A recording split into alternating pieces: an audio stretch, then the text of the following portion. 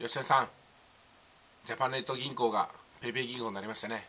ジャパネット銀行つい昨年でしたかね。私セルフバックのために口座を作り直したとこだったんですよ。PayPay 銀行ですか。まあそうなるだろうなと思ってました。セブン銀行もおそらくソフトバンクに吸収される形で PayPay 銀行に名を連ねるんじゃないかなと思いますけども私がね注目してるのはメルカリが子会社を作ってその子会社が暗号通貨の会社だってことなんですよ。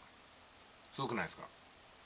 つまりメルカリはメルペイっていうのを使ってますけども暗号通貨メルペイっていうのが使えないでもないんですよこれから。暗号通貨の会社できますんでね。子会社といえどもでおそらく子会社の方がメルカリを上回るんじゃないかなと思います。なぜなら暗号通貨の決済手数料むちゃくちゃ高いんですよ実は。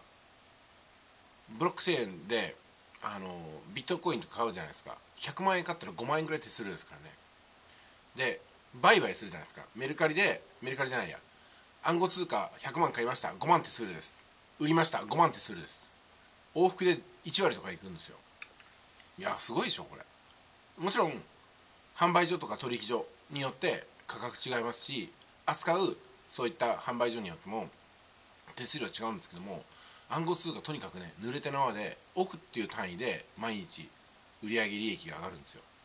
でメルカリがそのまあ銀行法とか金融庁の方やり取りしてね暗号通貨の決済会社を置くのには十分すぎるほどのシェアを持ってますしね、うん、じゃあこのメルカリソフトバンクの傘下に入る準備をしていないかどうかっていうとどうですかね？してるんじゃないですかね？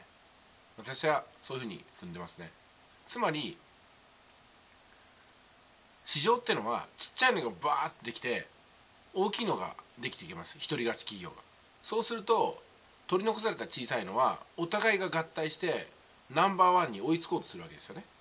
そうするとナンバーワン企業が最近の流れでは追いつこうとしてるところを吸収して全部で1個になるんですよね。これを繰り返していくんじゃないかなと思います。でっかくなってまた小さくなってでっかくなって小さいのがいっぱい出てきてみたいなね。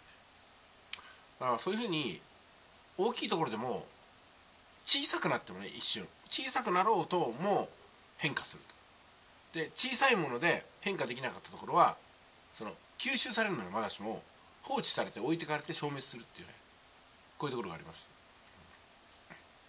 で結論ね今ねどこに移動したら立ち直れるか生き残れるかってことを自分の目で見て自分の手で触って自分の足で移動しなければならないってことです。座して死を待つって言葉がありますけどまさにその時代じゃないかなと思うんですよね。